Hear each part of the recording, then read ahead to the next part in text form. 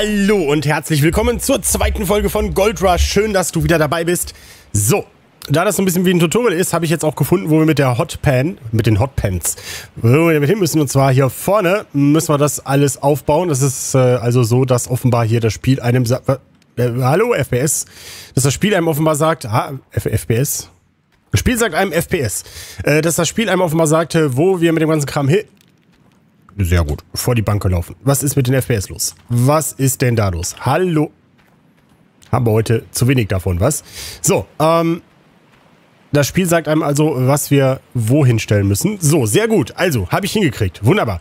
Jetzt brauchen wir noch den Eimer und ich glaube, dann können wir loslegen mit unserem fantastischen Goldgeschäft hier. So, was... Wir sollen nicht mit dem Kopf in den Eimer rein. Das ist schon mal gut zu wissen. Das sind so Infos, die habe ich mir schon immer gewünscht im Tutorial. So, dann haben wir hier eine Anzeige, was wir tun sollen. Okay, warte mal. So. Wir gucken trotzdem auch mal in das Notizbuch, weil wir wollen ja auch wissen, äh, use a shovel to fill the hog pan with dirt. Rinse the mats in the bucket. Start panning. okay. Warum auch immer. Aber wer kann das denn? Das also das mit den FPS ist gerade komisch. Das Spiel nochmal neu starten, oder was? Das kann man ja keinem anbieten hier. Ich starte mal eben kurz neu, ne? Also hier ist Hashtag Service. So, irgendwas ist äh, mit meinem NAS im Moment nicht in Ordnung. Ich hoffe, das fällt nicht auseinander. Deswegen ganz schnell auf die Festplatte gewechselt, hier mit der Aufnahme. Aber so, was äh, soll euch das besorgen? Also, ähm, genau, Schaufel raus und dann äh, hier mal graben. Und dann das Ganze hier rein, nehme ich an. So, wie geht... Wie... Ich klicke hier, aber passiert nichts. Also, okay. Also die Steuerung ist zuweilen noch ein bisschen gewöhnungsbedürftig, muss ich äh, zugeben. 20 Prozent. Ja, freue ich mich schon, wenn wir einen riesen Bagger haben. Wenn unser, unser Goldunternehmen hier mit einem riesen Bagger expandiert und, äh, ja, der Bagger expandiert, natürlich. Kippe ich jetzt alles daneben oder ist das alles falsch? Warum? Hm. Wir haben gleich so ein Riesenloch, da falle ich dann rein. Und dann war es das mit diesem Video-Format. Eventuell muss ich doch andere Sachen reinkippen, ich weiß es nicht. So. Aber jetzt habt ihr ja selber die Chance, das Spiel auch zu spielen. Es gab ja viele Leute, die geschrieben haben, wie kann man nur, ne, wegen der Steuerung, das kann doch gar nicht so schwierig sein, das an der Steuerung zu liegen. Man muss doch nur dies, das machen. Hier in dem Fall, also wie gesagt, mit dem Fadenkreuz entsprechend immer an die Flächen ran, die das Dingen sind. Aber es ist trotzdem irgendwie fummelig. So, jetzt brauchen wir, glaube ich, äh, müssen wir das jetzt waschen, ne? Wir haben keine Pumpe noch nicht. Das heißt, gucken, ob wir hier Wasser aus dem Fluss nehmen können. Jawoll. Funktioniert. Ha, stell ich mich ja doch nicht so doof.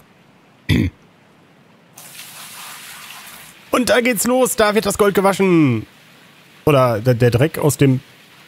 Was macht denn das Ding eigentlich? Ah, ich glaube, ähm, das habe ich glaube ich wirklich in der Tat schon mal gesehen. Ähm, da werden die... Das, äh, das wird so ausgewaschen, das läuft dann da, da durch den Kasten durch und dann aber die, die groben Dinger bleiben oben drauf hängen. Und dann läuft dieser Schlamm über diese Matten. Und in den Matten, äh, in den Matten bleibt dann das Gold hängen, beziehungsweise der Goldstaub. Und den können wir dann, müssen wir den, ich weiß nicht, ob wir den dann wieder auswaschen müssen oder ob wir den, äh, ob da direkt das, kann ich mir aber nicht vorstellen, dass da direkt das Gold drin ist. Ich glaube, das ist dann halt nur irgendwie besser konzentriert oder so. So, da sehen wir die beiden Matten, ne? Was ich jetzt nicht glaube, ist, dass die beiden Matten gleich schnell voll werden. Das kann ich mir nicht vorstellen. Ähm, ich denke mal, in der ersten müsste mehr hängen bleiben, oder? Je ne sais pas.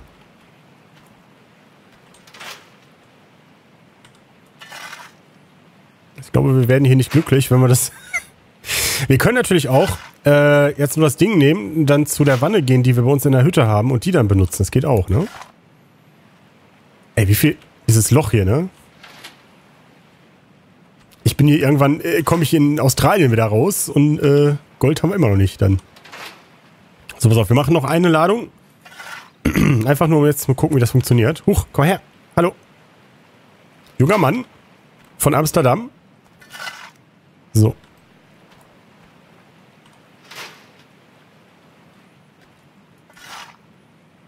Ah, das ist natürlich das Problem, ne? Bei diesem dynamischen Boden hier, beziehungsweise ist ja kein dynamischer Boden, ist einfach nur eine Polyumformung. Wir diese ganzen Spiele, wo ich gerade, ja, ich habe gerade vermutet, dass es die Unity Engine ist, aber eigentlich könnte es auch, das ist wahrscheinlich auch wieder der Playway Baukasten, ne? So. Oh, was ja nicht schlecht ist. So. Also, benutzen. Hier rein. Nein. Herr Gardehol, wollen wir uns ein bisschen mehr konzentrieren? So. Das war ganz schön aufwendig. Also ich hatte jetzt äh, gedacht, ich fahre hier nach Alaska, kaufe mir für 200 Euro Ausrüstung und bin morgen Millionär. Das war jetzt so eigentlich mein Plan. Das sollte auch das Ziel sein. Ich glaube, ich nenne das erste Video Road to 1 Million oder so. Hm. Also, dass wir sozusagen hier versuchen, Millionär zu werden. Okay, pass auf, wir probieren jetzt mal, damit ihr in diesen ersten Videos auch ein bisschen was seht vom Spiel. Jetzt sind das hier diese Matten und ich nehme mal an, dass wir die jetzt leeren müssen. Warte mal, trennen. Und wir können auch vier Matten haben, okay? So.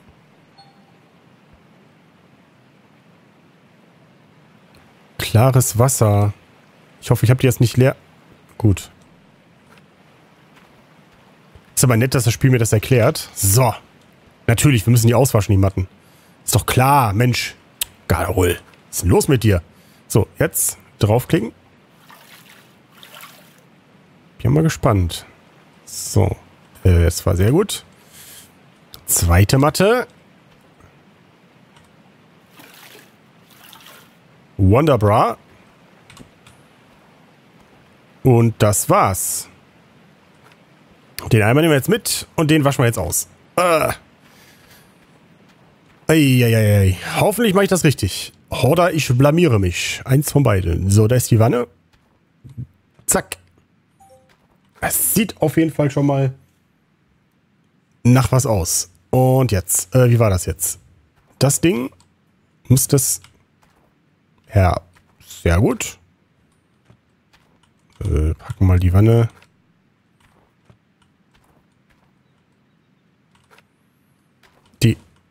Jetzt hängt die in der Wand drin, oder was?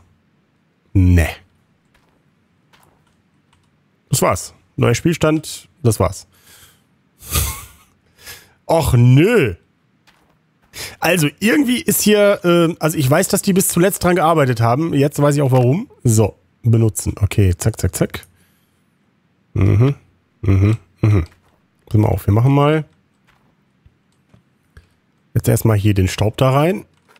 Oder wie auch immer sich das nennt.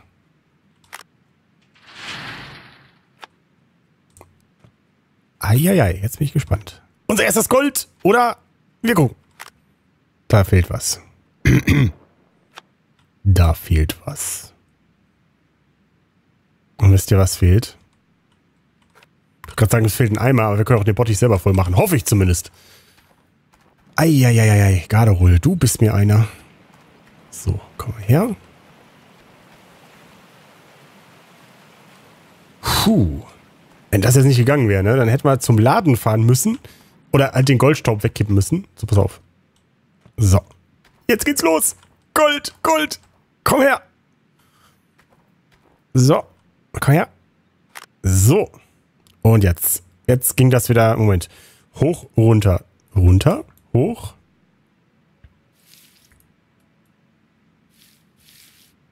Da sind die ersten Golddinger. Äh, ich glaube, ich bin...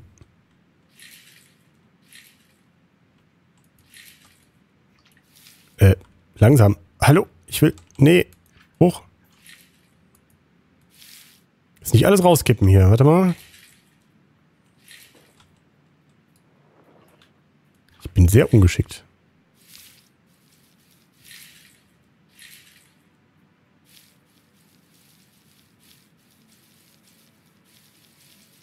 Doch eigentlich richtig sein, oder? So kann es nicht richtig sein. Obwohl da schon zwei Golddinger äh, rausgekommen sind.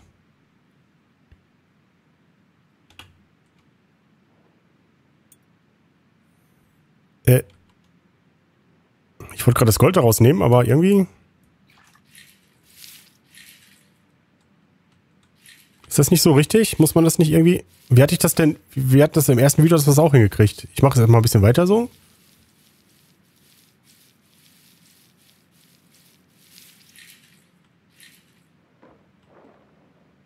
Guck, da ist doch... Ah, nein, nicht alles in die Schüssel schmeißen. Äh, jetzt müsste ich doch irgendwie drankommen. Ja, unser erstes... Ja, unser erstes Gold. Unser erstes Gold. Sehr gut. Da ist noch eins. Ja, komm. Komm zu Papa. Jawohl. So, und jetzt? Kann nicht sein, dass das so wenig ist. Ich will reich werden hier. Was ist denn da los? So.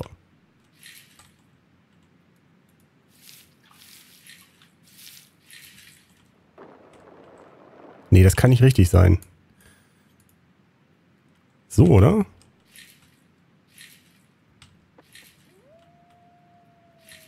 Ist ein Wolf. Nicht, dass da der dicke Bär aus dem Wald kommt und uns äh, Fressen wegfrisst hier.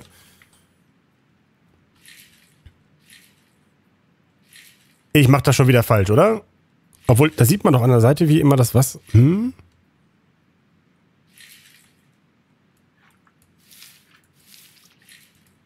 Ich hätte schon so ein bisschen die Hoffnung gehabt, dass der mehr rausgekommen wäre. Aber scheinbar... Sollen das wirklich nur Steine sein? Das kann ich mir nicht vorstellen. Hm. Das war sehr geschickt. Aber praktischerweise bleibt es einfach mal da drauf. Ich kippe mal ein bisschen nach. Wenn das geht. Das geht gar nicht. Müssten erst komplett leer machen. Ach, da, da waren sie wieder meine Probleme. Nein! Ich drehe durch.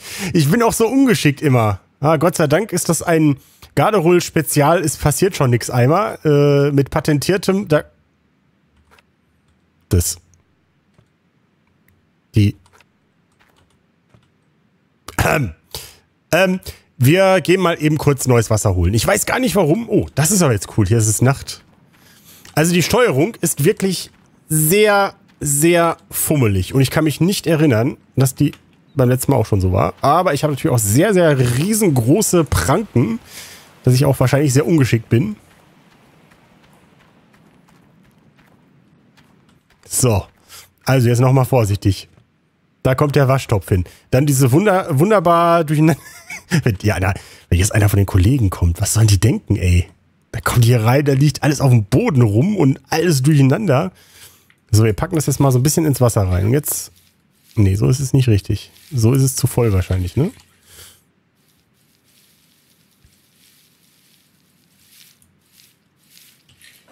Ich reite das nicht. So, wir machen nochmal eine Ladung. Wir machen nochmal eine Ladung. Einfach... Oh, diese Wölfe, die hier heulen. Ich habe Angst. So.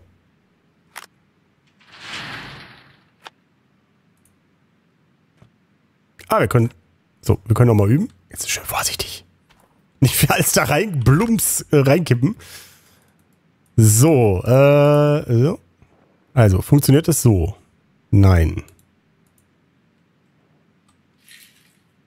Funktioniert es so? Nein. Doch. Hier ist ein kleines Goldklümpchen.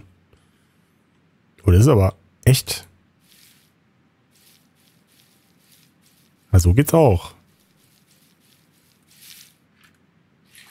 Aha! Gesehen?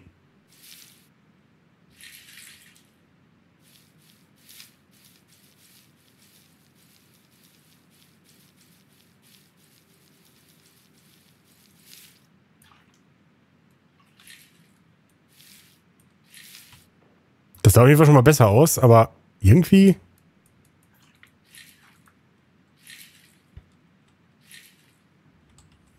kann nicht sein, dass da so riesen dicke Steine drin sind und wir überhaupt nicht... Da müssen doch jetzt dicke Klunker drin sein, damit wir uns den ersten großen Bagger leisten können. Was ist denn da los? So. Schwupp.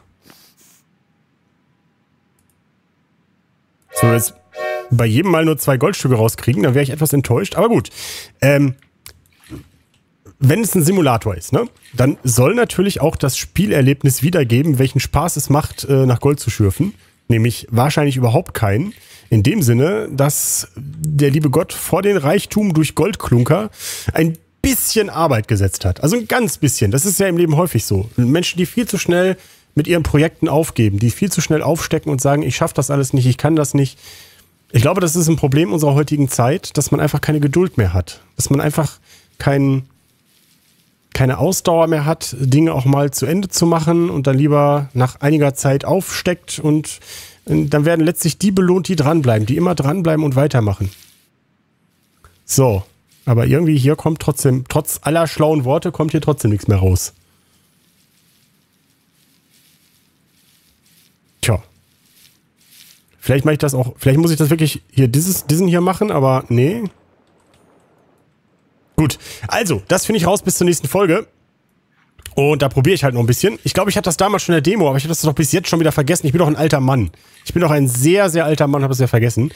Deswegen seht mir das bitte nach. In der nächsten Folge geht's weiter hier in Gold Rush. Und ich würde mich freuen, wenn du wieder dabei bist. Äh, danke auch an all die Leute, die so klug waren, ein Abo abzuschließen. Und bis zur nächsten Folge. Und meine Stimme geht weg. Tschüss.